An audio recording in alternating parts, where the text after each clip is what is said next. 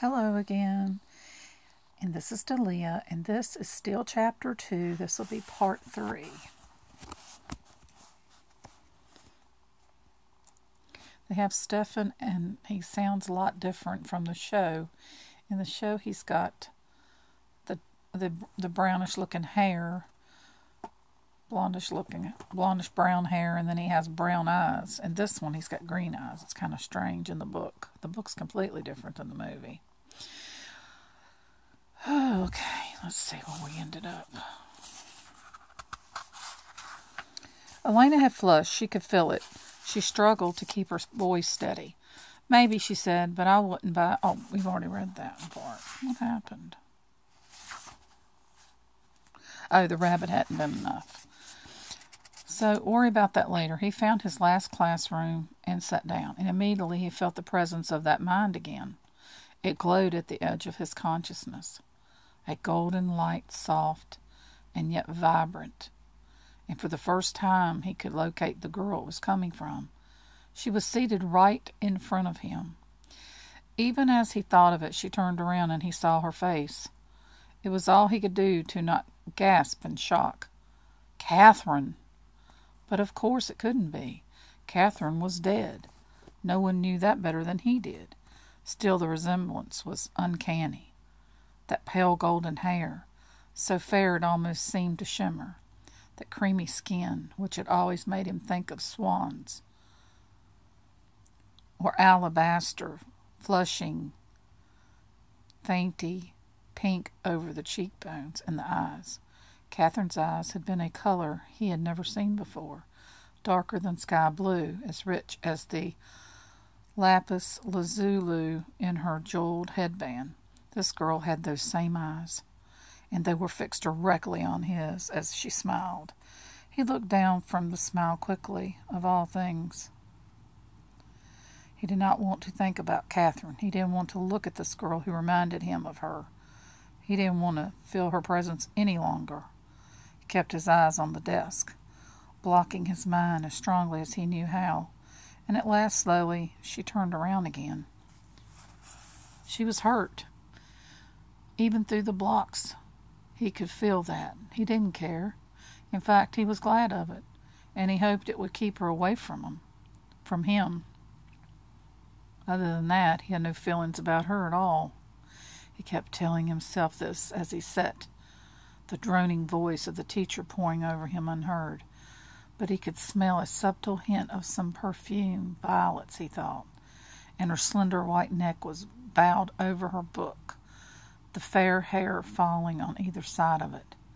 In anger and frustration, he recognized the seductive feeling in his teeth, more a tickling or a tickling than an ache. It was hunger. Oh, tingling. More than a tickling or a tingling than an ache. It was hunger, a pacific hunger, and not one he was about to indulge. The teacher was pacing about the room like a ferret asking questions, and Stefan deliberately fixed his attention on the man. At first he was puzzled, for although none of the students knew the answers, the questions kept coming. Then he realized that this was the man's purpose to shame the students with what they didn't know. Just now he found another victim, a small girl with clusters of red curls and a heart shaped face. Stefan watched in distaste as the teacher badgered her with questions. She looked wretched as he turned away from her to address the entire class. You see what I mean? You think you're pretty hot. Stuff. You're seniors now, ready to graduate. Well, let me tell you, some of you aren't ready to graduate kindergarten like this. He gestured toward the red haired girl. No idea about the French Revolution. Thinks Maria Antoinette was a silent film star. Students all around Stefan was shifting uncomfortably. He could feel the resentment in their minds, and the humiliation and the fear. They were all afraid of this thin little man with eyes like a weasel, even the husky boys who were taller than he was. All right, let's try another era. The teacher swung back to the same girl he'd been questioning. During the Renaissance, he broke off. You do know what the Renaissance is, don't you? The period between the 13th and the 17th centuries in which Europe rediscovered the great ideas of ancient Greece and Rome, the period that produced so many of the Europe, Europe's greatest artists and thinkers. When the girl nodded confusedly, he continued, During the Renaissance, what would students your age be doing at school? Well, any idea at all? Any guesses? The girl swallowed hard. With a weak smile, she said, Playing football? At the ensuing laughter, the teacher's face darkened. Hardly, he snapped, and the classroom quietened. You think this is a joke? Well, in those days, students your age would already be proficient in several languages. They would also have mastered logic, mathematics, astronomy, philosophy, and grammar. They would be ready to go on to a university in which every course was taught in Latin. Football would be absolutely the last thing on. Excuse me.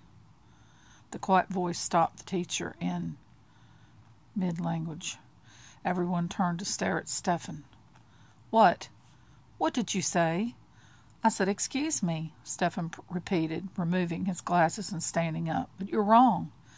Students in the Renaissance were encouraged to participate in games. They were taught that a healthy body goes with a healthy mind, and they certainly played team sports like cricket and tennis and even football. He turned to the red haired girl and smiled. She smiled back gratefully. To the teacher, he added, But the most important things they learned were good manners and courtesy. I'm sure your book will tell you that. Students were grinning. The teacher's face was red with blood, and he was sputtering. But Stephen continued to hold his eyes, and after another minute it was the teacher who looked away. The bell rang, and Stephen put his glasses on quickly, gathered his books. He'd already drawn more attention to himself than he should, and he didn't want to have to look at that blonde girl again. Besides, he needed to get out of here quickly. There was a familiar burning sensation in his veins. As he reached the door, someone shouted, Hey! Did you. Did they really play football back then? He couldn't help throwing a grin over his shoulder. Oh, yes, sometimes with the severed heads of prisoners of war. Elena watched him as he went. He deliberately turned away from her. He'd snubbed her on purpose, and in front of Caroline, who'd been watching like a hawk. Tears burned in her eyes. But at that moment only one thought burned in her mind. She'd have him, even if it killed her. If it killed both of them, she'd have him. Uh huh. So this is the end of part two, and we're getting ready to go to part three. Very interesting, very different than the show itself because Stefan in the real show liked Elena and was, you know, wanting to be around her, but in the book, he's wanting to stay away from her. It's kind of strange. But anyway, the book is a lot different, and I'll be reading part three soon. Hope you enjoyed it. Take care.